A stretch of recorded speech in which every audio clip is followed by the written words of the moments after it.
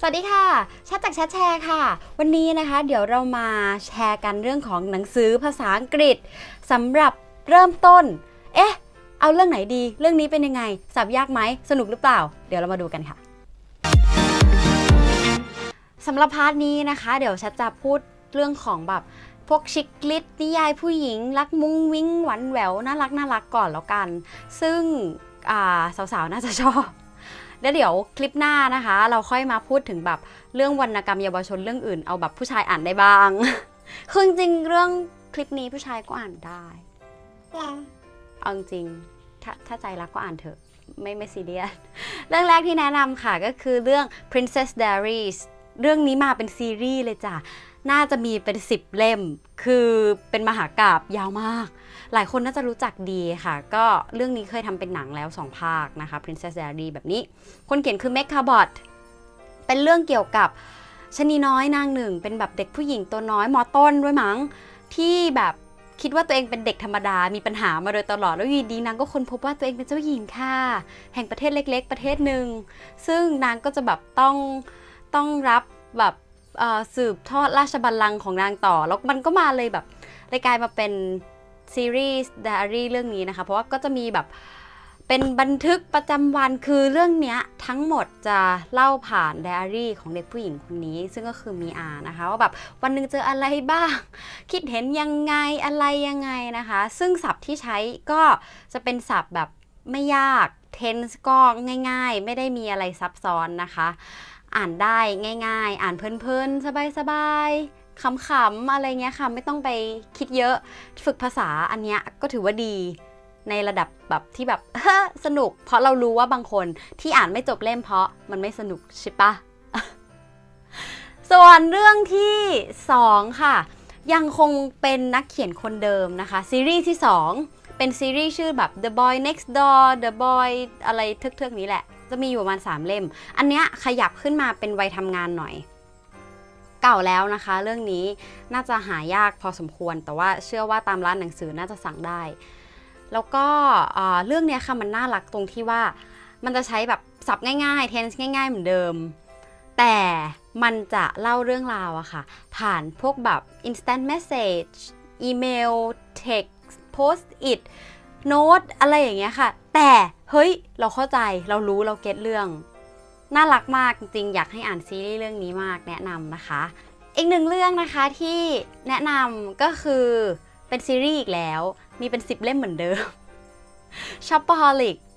อันนี้นะคะหลาย ๆ คนก็คิดว่ารู้จักแหละเพราะมันเป็นหนังมาแล้ว The Confession of a Shopaholic ถูกไหมแต่จริง ๆ เรื่องนี้มีอีกหลายหลายซีรีส์มากเลยนะคะ หลายเล่มมากแบบ Shopaholic and Sister Shopaholic and Baby Shopaholic Thai The Not Mini Shopaholic เยอะมาก น่าจะมีเหยียบ 10 เล่มอะค่ะ คนเขียนก็คือโซฟี คินเซล่า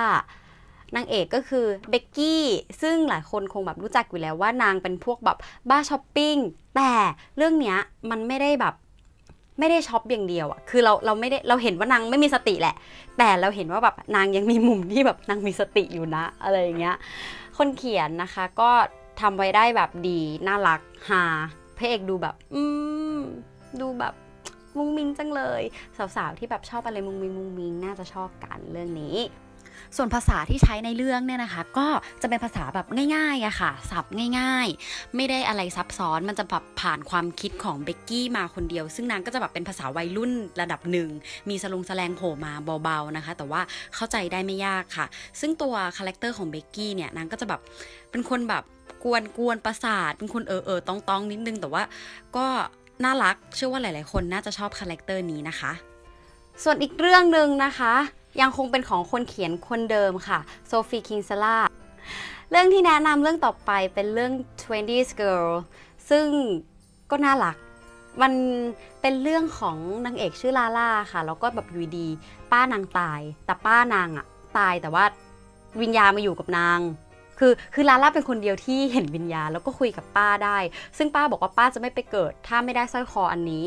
มันสำคัญมาก ก็เลยกลายเป็นเรื่องราวที่แบบต้องไปหาสร้อยคอได้มาจากไหนมีเรื่องให้แบบให้เป็นปริศนาต้องไขอะค่ะ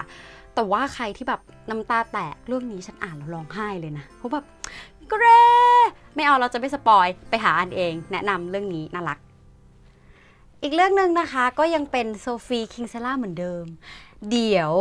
นี่ทางคลิปรีวิวโซฟีใช่ไหมไม่ใช่ มีคนอื่นด้วยแหมใจเย็นเราก็แค่แบบเอามาให้เลือกเลือกกัน จริง ๆ แล้วว่าแชทว่าของโซฟีอะค่ะ เล่มไหนเรื่องไหนก็ได้ สนุกทุกเรื่องเลย ไปซื้ออ่านกันได้ถ้าชอบสไตล์แบบงงยิงมุงมิงแบบนี้นะคะ เรื่องนี้ชื่อ I've Got Your Number เป็นเรื่องของป๊อปปี้ที่แบบนางจะแต่งงานแล้วอยู่ดีนางก็ลืมแหวนนางทำแหวนนางหาย แล้วนางก็แบบอ้าวโทรศัพท์ก็โดนขโมยแล้วแล้วยังไง นางก็เลยไปนางไปเจอโทรศัพท์เครื่องหนึ่งที่แบบเห็นเขาทิ้งไว้นางก็เลยหยิบมาแบบมันยืมก่อน ขโมยมานั่นแหละ อะไรเงี้ยค่ะ แล้วเรื่องวุ่นวุ่นมันก็เลยแบบเกิดขึ้น เพราะว่าเจ้าของโทรศัพท์เขาจะเอาคืน มันก็เลยแบบชุลมุนวุ่นวายนู่นนี่นั่นกันไปหมด แต่ว่าก็น่ารักดี เป็นเรื่องที่แบบขำอะ อ่านแล้วจะขำว่าแบบอีป๊อปปี้แกกล้าขนาดนี้ได้ยังไง แกหน้าด้านไปหรือเปล่า แบบนี้แกไม่ควรทำหรือเปล่าอะไรเงี้ยค่ะแหมเราจะไม่ spoil แต่ว่าไปหาอ่านกันดูเนาะอีกหนึ่งเรื่องค่ะที่จะมาแนะนำกันชื่อเรื่อง Safe Haven เป็นของเจ้าพ่อหนังรัก เจ้าพ่อหนังแบบเจ้าพ่อหนังสือ romance รักกันให้ตายกันไปข้างหนึ่งนะคะเฮียนิโคลัสสปาร์กส์คือส่วนตัวแชทชอบเรื่องนี้ของเฮียเขาที่สุดนะ หรือว่าเป็นเพราะว่ายังไม่ได้อ่านทุกเรื่องของเฮียเขาก็ไม่รู้ เลยรู้สึกว่าแบบ เรื่องนี้มันไม่เลี่ยนเท่าเรื่องอื่นๆนะคะคือเรื่องอื่นอ่านแล้วก็แบบเอียนไปแกจะรักอะไรกันเบอร์นั้นหรออะไรเงี้ยค่ะ จริงๆคือหมันไส้เขาไง ส่วนเรื่องนี้เนี่ยนะคะมันทำเป็นหนังมาแล้วนะ หลายคนอาจจะดูแล้ว หนังฉันว่าหนังทำออกมาได้ดีเลยแหละเออแต่ว่า เอาจริง ๆ ถ้าเทียบหนังกับหนังสือ หนังสือก็ยังดีกว่าอยู่ดี คือเรื่องของเรื่องมันก็ยังเป็นนิยายรักละค่ะ แต่ว่าอย่างที่บอกก็แบบ มันไม่เลี่ยน มันมีความแบบระทึกเบาๆนิดนึง คือนางเอกอะเอรินหรือว่าเคที่ของเราเนี่ยนะก็แบบหนีสามีตัวเองมาเริ่มชีวิตใหม่ในเมืองเมืองหนึ่งแล้วก็ไปเจอคนชื่อโจเป็นเพื่อนบ้าน ก็ทำงานในร้านอาหารเมืองนั้นแหละ แล้วก็ไปหลงรักกับพ่อแม่ลูกสองคนหนึ่งคือเนื้อเรื่องอะมันดูแบบเพลนๆบ้านๆ แต่มันหักจ้ะ มันก็ไม่ได้เพลนอย่างที่เราคิดอะแหละ มันก็แบบมีเงื่อนงำเบาๆ เล็กน้อย คือมูดแอนโทนของทั้งเรื่องอะค่ะ มันก็จะเป็นแบบจะเป็นอารมณ์แบบเมืองเล็กๆชีวิตง่ายๆ สบายๆ s โลไลฟ์ไป แต่ว่ามันแบบแอบมีความหม่นๆนิดนึงอะแล้วก็แบบความรักก็จะแบบอบอวลดูแบบ ดู ยังไงเดียดูแบบหม่นๆแต่แต่รักนึกนึกออกปะคือฉันว่ามันเป็นหนังสือที่แบบ เรามีความสุขกับชีวิตง่ายๆของพวกนางนะ คือสรุปก็ชอบแหละ ภาษาเนี่ยไม่ยากค่ะ แต่น่าจะยากกว่าของโซฟีคิงเซล่ายากกว่าของเบคคาบอดเลยแหละ แต่เราเชื่อว่ามันไม่ยากเกินไป คือคนเริ่มต้นอ่านอะไรเงี้ยค่ะ ก็ยังอ่านได้แบบไม่ปวดหัวแล้วกัน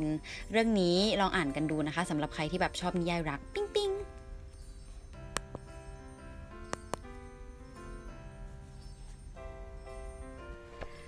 เรื่องสุดท้ายที่จะแนะนำสำหรับคลิปนี้นะคะ เอาใจคนที่แบบขอนิยายนิยายนิยายนิยายนิยายรักหวานเยิ้มรักแบบแอบน้ำเน่า น้ำเน่าเลยแหละ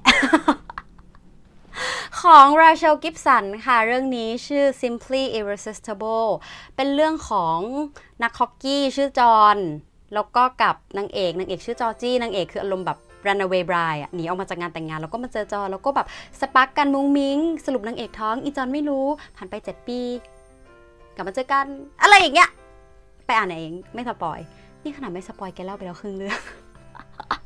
แต่ประเด็นคือแบบคนที่ชอบแบบอารมณ์แบบ moment รักมุ้งมิ้งรักหวานแหววอะค่ะ น่าจะชอบเรื่องนี้ จริง ๆ แล้วของราเชลอะค่ะเขามีอีกแบบ หลายเรื่องเลยนะ ที่เป็นเกี่ยวกับนักฮอกกี้ สาวๆ ที่แบบชอบเพ้อชอบมโนพวกจิ้นเจิ้นทั้งหลาย น่าจะเลิฟเพราะว่ามีนักฮอกกี้ให้แบบให้ได้มโนอีกเยอะเลยอะไรเงี้ย ซึ่งศัพท์ที่ราเชลใช้อะค่ะ ก็จะไม่ได้เป็นแบบศัพท์ยากอะไรเยอะแยะ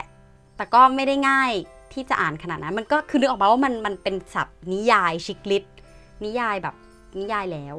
มันจะไม่ใช่แบบหนังสือเด็กวรรณกรรมเยาวชน เพราะฉะนั้นภาษาจะยากขึ้นมา ดเดียวนิดเดียวเท่านั้น คือถ้ารักอ่านไปเถอะ และนี่ก็เป็นนิยายเป็นหนังสือที่เอามาแนะนำกันในคลิปนี้นะคะสำหรับคนที่อยากจะเริ่มต้นในการอ่านหนังสือภาษาอังกฤษ ส่วนคลิปหน้าเดี๋ยวจะมาพูด เรื่องของวรรณกรรมเยาวชน เอาเรื่องที่แบบผู้ชายเขาอ่านได้บ้าง เดี๋ยวเราจะมาแนะนำกันในคลิปหน้านะคะสำหรับคลิปนี้ใครที่ยังไม่ได้ปักตะไคร้ใบมะกรูดกับเราเรียนเชิญนะคะ แล้วก็เพจอยู่ด้านล่างนี้เข้าไปมอมอยกันได้ แล้วเดี๋ยวเจอกันคลิปหน้าค่ะ